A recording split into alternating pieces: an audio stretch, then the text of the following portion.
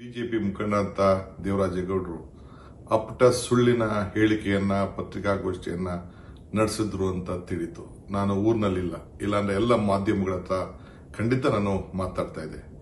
ಇವ್ರು ಏನು ಮಾತಾಡಿದ್ದಾರೆ, ಏನು ಆರೋಪ ಮಾಡಿದ್ದಾರೆ, ಎಲ್ಲ ಸುಳ್ಳಿನ ಕಂತೆ ಎಲ್ಲ ಅನೇಕ ವಿಚಾರಗಳನ್ನ ಪೆಂಡ್ರೈವ್ ವಿಚಾರ ಇರ್ಬೋದು, ಬಿಜೆಪಿಯ ಆಂತರಿಕ ವಿಚಾರಗಳನ್ನ ನನ್ನ ಹತ್ರ ತಿಳಿಸ್ತೀನಿ ಅಂತ ಹೇಳಿ ಪ್ರಯತ್ನವನ್ನ ಮಾಡಿದ್ರು. ಆದರೆ ನನಗೆ ಸಮಯ ಸಿಕ್ಕಲಿಲ್ಲ ಬರ್ತೇನೆ ಬೆಂಗಳೂರಿಗೆ ಬಂದಾಗ ಅನೇಕ ವಿಚಾರಗಳನ್ನ ಏನೇನು ನನ್ನ ಹತ್ರ ಚರ್ಚೆ ಮಾಡಿದ್ದಾನೆ ಫೋನ್ನಲ್ಲಿ ಅಂತೇಳಿ ತಿಳಿಸ್ತೇನೆ. ಆದ್ರೆ ನನಗೂ ಆತನಿಗೂ ಯಾವ ತರದ ಸಂಬಂಧನೂ ಇಲ್ಲ. ಅವನು ಏನು ಮಾತಾಡಿದ್ದಾನೆ ಎಲ್ಲ ಕೂಡ ಸತ್ಯಕ್ಕೆ ದೂರ ಆದಂತಹ ವಿಚಾರ ಅಂತ ಹೇಳಲಿಕ್ಕೆ ನಾನು ಬಯಸ್ತೇನೆ.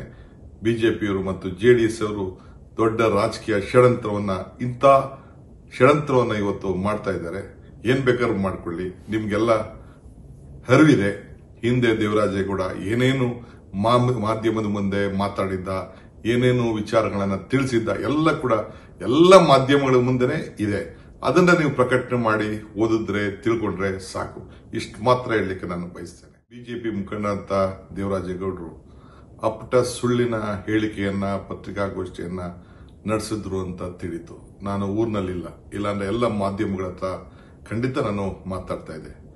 ಇವ್ರು ಏನು ಮಾತಾಡಿದ್ದಾರೆ, ಏನು ಆರೋಪ ಮಾಡಿದ್ದಾರೆ, ಎಲ್ಲ ಸುಳ್ಳಿನ ಕಂತೆ ಎಲ್ಲ ಅನೇಕ ವಿಚಾರಗಳನ್ನ ಪೆನ್ಡ್ರೈವ್ ವಿಚಾರ ಇರ್ಬೋದು, ಬಿಜೆಪಿಯ ಆಂತರಿಕ ವಿಚಾರಗಳನ್ನ ನನ್ನ ಹತ್ರ ತಿಳಿಸ್ತೀನಿ ಅಂತ ಹೇಳಿ ಪ್ರಯತ್ನವನ್ನ ಮಾಡಿದ್ರು. ಆದರೆ ನನಗೆ ಸಮಯ ಸಿಕ್ಕಲಿಲ್ಲ ಬರ್ತೇನೆ ಬೆಂಗಳೂರಿಗೆ. ಬಂದಾಗ ಅನೇಕ ವಿಚಾರಗಳನ್ನ ಏನೇನು ನನ್ನ ಹತ್ರ ಚರ್ಚೆ ಮಾಡಿದ್ದಾನೆ ಫೋನ್ನಲ್ಲಿ ಅಂತೇಳಿ ತಿಳಿಸ್ತೇನೆ. ಆದರೆ ನನಗೂ ಆತನಿಗೂ ಯಾವ ತರದ ಸಂಬಂಧನೂ ಇಲ್ಲ.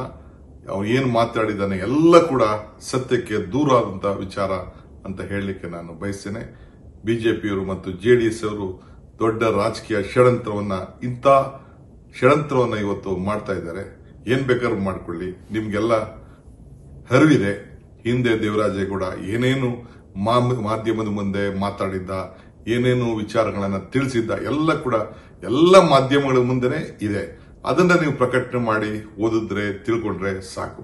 ಇಷ್ಟು ಮಾತ್ರ ಹೇಳಲಿಕ್ಕೆ ನಾನು ಬಯಸ್ತೇನೆ.